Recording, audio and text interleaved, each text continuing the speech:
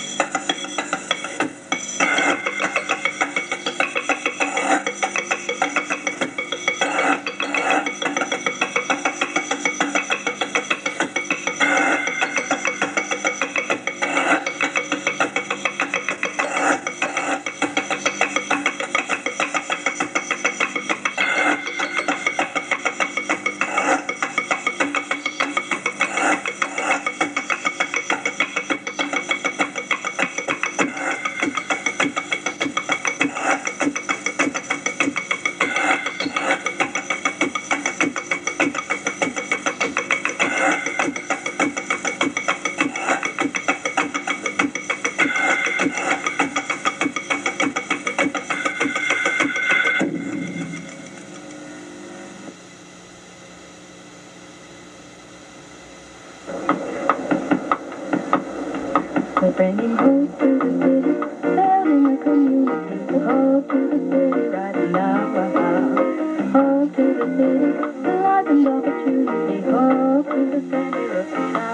ago, I got involved in a movement called the Rainbow Movement, um, which was primarily a, a political uh, movement dedicated to uh, change. Um, and a book came out at the same time um, called After the Crash, which was subtitled The Emergence of the Rainbow Economy. This caught my eye, um, and I read it, and in there was a chapter dedicated to let systems. And these seemed like a very, very good idea.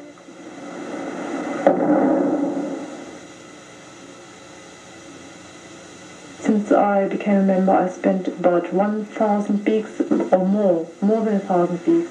Occasionally, when you want something that it's difficult to find in you know pages, um, you, you turn to it and you're surprised at just what is offered. Really, There was a time when I needed a service that I couldn't afford to pay for. And I was wondering how, how to do this without upsetting anybody. I suppose it, it changes your perception in that it makes you think more about how that kind of society can work, which isn't always based on whether or not you've got money. People who um, can see beyond the normal economic monetary system, I think it appeals to as well, and say, well, you know, barter is one thing, circular barter is something else, and I'm quite willing to try it out and see if it works for me. LETS is an alternative economy. It works much the same way as a checkbook and a directory, uh, like the Yellow Pages. Members join our scheme, they're given a checkbook, and they enter their names and services they offer into the directory, and that gets distributed amongst the other members, and trading takes place by exchanging checks, and their accounts are uh, recorded on a simple computer program that works much the same as a bank would with an ordinary bank account. We've got uh, 220 members of Cutlets, which is Kingston upon Thames local exchange trading system. Once you're a member of our let system, um, you can telephone anyone up for any goods or services. Um, of course, it doesn't have to be a direct barter because you'll be paying with the local currency. There'll be 20 beaks, Françoise. We use the currency beaks because we're based at the Beacon in Kingston. Um, it's a local environmental centre and the let system is housed at the Beacon. In other words, we have our computer here.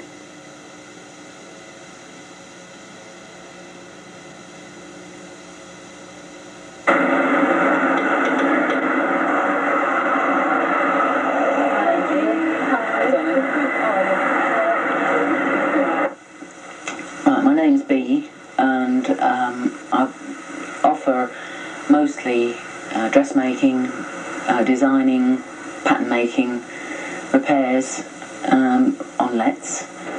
I've taken about an inch out of under the arm here. Okay. Which is what it seems to need, yeah? Mm-hmm. I've cut back the back of the of the armhole a bit because that was cutting you remember that was cutting you under the arm a bit here. Yeah, so uh, Brilliant. How long did all that take you? took me about two hours in the end. It was but you know that it was quite easy. Yeah. Wonderful. So um, two hours I, I would guess that works out about fifteen beaks. Okay. Is that about right with you? Yep. Is that, is that fine with you? Yeah, Yeah. that's fine. Okay, that's lovely. I'll write you off the check. Yeah, thanks. Because people slowly come to understand that they are creating their own money. There's no equivalent to the Bank of England. No one is printing money. It's even more democratic than the babysitting circle. The babysitting circle, one person tends to cut up the cornflakes packets to create the tokens, which are the currency. In the case of lets, no one does that. No one decides how much money will be in circulation. Anyone can write a check to pay somebody to do something for them, and in doing so create their own money. It's um, uh, something that is a token that's a reward um, for work or labour in some in some way, but in itself it doesn't have any value. It's just a token that um, says that some kind of transaction has taken place. When you've had the goods or services, you pay the person with the transfer note, and then you would post the transfer note into the box at the beacon, and that's emptied once a week, and that person's account will be debited with the amount that they've paid, and the person who they've paid will be credited. A member who is spending may go negative at will. A positive goes to the one who made use of his skill. And though we use no money, we have found a way to trade. A giant step in the reform of money has been made. Money is the source of life. What else have you got? What else have you got? We don't think that's money. And Richard's got um, a lump of metal. Would you like to pass that back to Sebastian? We don't think that's money. And Paul here has got some shells. We reckon that they're money. I think we just wanted to get the children to understand, or not so much understand as touch on a couple of key concepts. One of those concepts was the idea that money can be almost anything. It just depends um, how people lay value on something. But if somebody puts value on something, then it can operate as a medium of exchange. This was money in Guatemala, in Central America. This is among the, one of the oldest things that's money. From thousands of years ago, that was money in the Far East and in China. People do denigrate the less currencies, I suppose, but I don't quite understand why they should do so. They're not uh, Mickey Mouse currencies. They are, in fact, practical currencies. They work within those local lets, so they, they function in just the same way that formal money functions. But at the same time, as we were saying earlier on, they symbolise a whole range of very, very profound issues. That is to say, they symbolise the possibility of alternative value systems and practising those alternative value systems in a way which contributes to the making of a living, um, uh, and which does so in an inclusive way and which is not simply judged by the very narrow systems of valuation that are apparent in the formal economy. It's 25 beaks a week to uh, hire the boat. Uh, when I go away in the summer to do various events and festivals, then the boat's free and uh, you can have it for 25 beaks on the let system and it can go up and down the river and uh, you can have a lovely holiday. Is worth one pound sterling or ten minutes work. Um, the reason we do this on our let system is to be, give people a guide for their worth. If they've never charged before, if they've done babysitting for free, or they've cleaned their friend's house as a favour, this is valuing their work, and they can spend their beaks on luxuries they otherwise couldn't afford. Money is essential. It is something that keeps us alive, keeps us going, and we all need it, but we can't get enough of it. Britain's greatest treasure house, the Royal Mint. Everybody needs dough, and here's the dough before it's needed. The first and most important process is to reduce the molded bars of metal to a proper size. Here are the blanks being stamped out, the first stage to looking like real crime. And money pours out like a slot machine gone wrong. So far, there's been no head or tail to the whole story. But that's soon portrayed.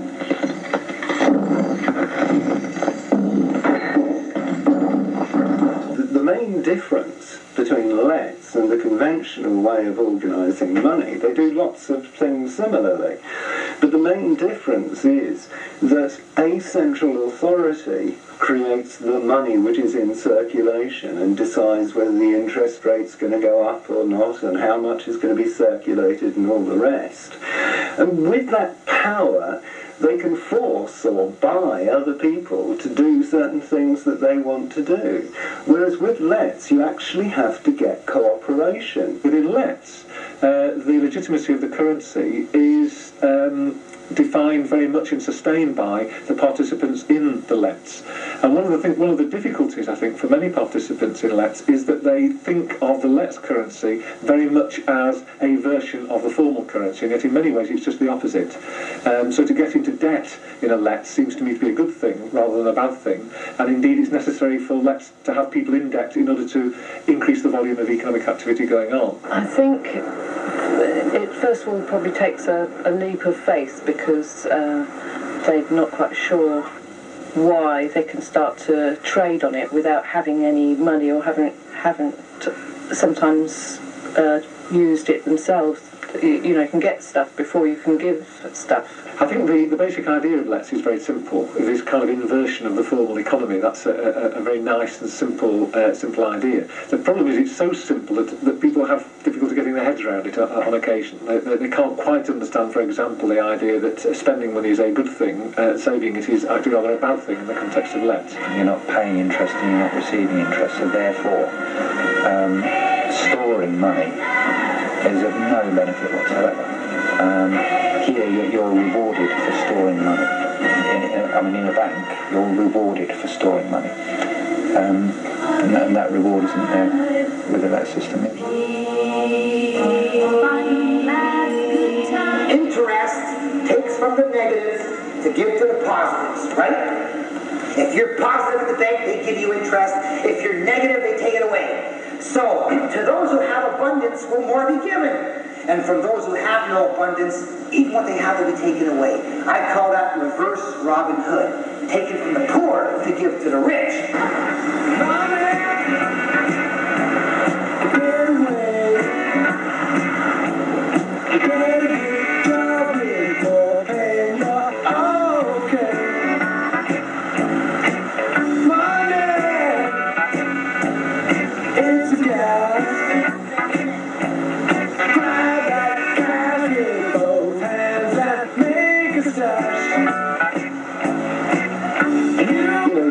Business of compound interest, which is inbuilt into the existing money system, is a nightmare. I mean, we're all working harder and harder and harder and harder and faster and faster trying to keep up with paying these billionaires to have another 15 palaces here, there and everywhere. It's, a, it's an absurdity. Rothschild, Rockefeller, all the big money lenders, the millionaire, billionaire families who have their own plates and get to loan shark to us. They're not going to like it, but guess what? There's nothing we they can do because we can start our own little private lifeboats and get off their currency and say, screw you, we're on our own now. When we begin to look at the reality of it, we begin to see that the chances of getting the money away from that group of people are very, very slim. So you begin to see the necessity for developing something like LETS. It's not just a little peripheral, it's actually something which is central to creating some kind of balance and harmony in the world. The spirit of the institution is what determines how, how well it functions in terms of the way that hum, human beings relate to one another. Uh, You know, and if goodwill is at the heart of that institution, then it will function well, and the relations will function well, and it, it may serve, and uh, hopefully will serve, to foster positive, right human relations. And provided that that is at the heart of that organisation or that institution, I don't think there's a problem. you know, leave the beaks out of it, if you like, to the directory as a listing of people willing to do things. I'm offering didgeridoo lessons, um, teaching kids and adults alike basics of, of, of pretty unusual musical instrument, and it's uh, charging what am I charging five, five, six beaks an hour. It doesn't matter how good the form of the institution is. If it's not, if there isn't um, the right kind of quality or consciousness at its heart, then it won't work for the benefit of humanity.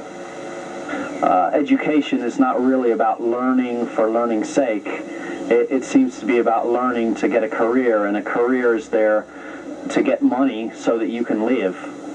Um, so life is money in many ways, and uh, I I think it's very sad. It's a sad commentary on humans. At end of 1994, 600 lets around. At end of 1995, 1,200 lets around. 2,500 at the end of 96. It's doubling yearly, exponentially the world to fix. Well, the Let's is helping to regenerate local community in a, in a variety of ways. One is that my background's in community development, and one of the um, concepts that you have in community development is that people are a solution, people are not a problem. And community development workers have a problem that, though that's part of their rules of play, if you want, they end up setting up projects like youth clubs or drop-in centres for people or whatever, and the individuals still look to that community worker as being that's the person that holds all the solutions to my problems. all these economic development strategies that have been imposed from outside, they, they haven't taken root, whether they're from government or business, because they're not actually listening to local people and working with their needs and what they're looking for. So, I mean, that's very much our approach, really. It's a sort of appropriate development, people's development approach. The uh, computer dot matrix printer then. Do I hear five computer dot? Yeah, five over there for the dot matrix printer. Do I hear six? Do I hear six? No. Sold for five pounds. Computer dot the dot matrix printer. I've got a washing machine for 15 and you made me buy it. So, uh, yes, I mean, that's excellent I'm a student. I'm at the end of my degree, and you know it's like being a student, trying to pay your bills, and I've got a daughter. So I've sent back all my hire stuff. I'm not a big place in it. You know, like things that people give me. To get a washing machine means I can send back my hired washing machine. So that's, yeah, it's fantastic. By bringing in a local currency, what you then have is, is a way of people exchanging those goods and services without a central person telling them what to do and what not to do. And yes, you've got to come to me if you want a grant, or no, you've got to go over there if you uh, want to borrow money from them. Within the lets, everybody controls that themselves. And so that, that starts the spark of people realising they're part of the solution rather than being a problem. I think on a wider scale, it could make the community look at just what it had within itself that could be made mm. more widely available to its members. It ought to be that. Mm. Because, you know, when you start to look at people you know, you realise just what a lot of experience mm. and ability and dedication and, and imagination they've got. And you don't have to go out to a professional agency to, to do so many things. The only qual- quality control we have is on a very individual basis. We have an arbitrator who can legally give us advice or give people advice if they're unhappy with work. But it's the same as in the outside world. It works the same way. Um, the only thing we can do is we can say, well, so and so has decorated so and so's house because we've seen the transaction, the transfer slip, and um, so we recommend you phone up that person and ask what the job was like, or ask if you can see the job. We run a soft furnishing business and we are also personal members of the Let's scheme, so it seemed a good idea to try and bring it into the business aspect of it. So if people ask us, we do try and supply part of our services on Let's. So if it was, for example, making curtains, we would probably charge about 50% for the material plus the amount we're going to have to pay for VAT, which is 17.5%, and then they could pay the rest on lets. Where there are people running businesses and they're part of lets, um, they need to look at what their trading turnover is on lets, and if it goes beyond their tax thresholds, then they need to start accounting for that because the Inland Revenue want to know um, if they've gone above their threshold. They want they want some tax in sterling. Um, so they need to really ask for a certain proportion of that transaction in cash to cover any tax overheads. Money is money. All right? And what it means to me is I can pay the rent every week, pay the bills every week, and have a little bit left over for the bottle of vodka.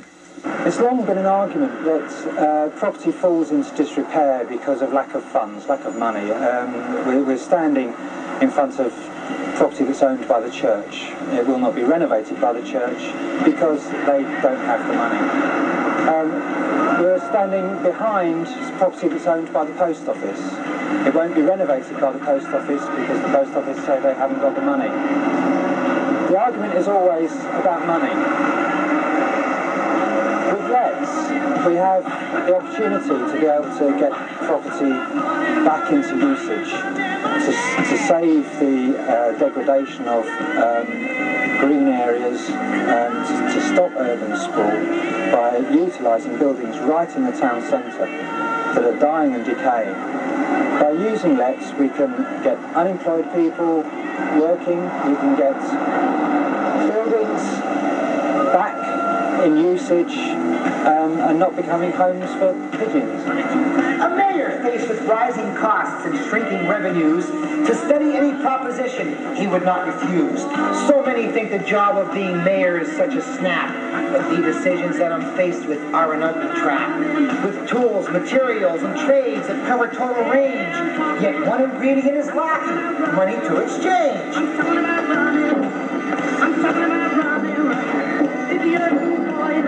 During the late 17th century, um, there just wasn't enough regal currency around of the type that people, the ordinary people, needed to um, carry out their trading. There was a lot of gold and silver coins, um, but there wasn't really any copper coinage in uh, common circulation. And so um, the local people just found their own answer to this by producing their own tokens, which were valued at a farthing or a halfpenny and um, they were just produced by local individuals. I, would like to see different kinds of local currencies. I'd like, to see lets essentially at the bottom um, as the sort of first line, which is about creating communities and about local economic development. Um, and and then sort of like a sort of set of currencies like the layers of an onion, if you like. So you have appropriate currencies for, for different purposes. It's possible that we're moving from a position where currencies are divided in effect vertically by national boundaries towards a position where currencies are really divided horizontally. So that there might be a European currency, possibly eventually a world currency above that. Below that, a regional currency, um, and below that, a local currency. So, in such a world, Let's would take its scenario, I'm sorry, Let's would take its place in that set of um, currencies. I, am I'm, I'm, a, I'm a firm believer in anarchy. I, I, I think an, an, you know, an anarchistic state is, is a beautiful state, and if you look at the definition of the word, it means uh, an harmonious state of existence whereby governments are deemed unnecessary, and, and that is what I would like to aim for, and I think Let's is definitely a step towards that.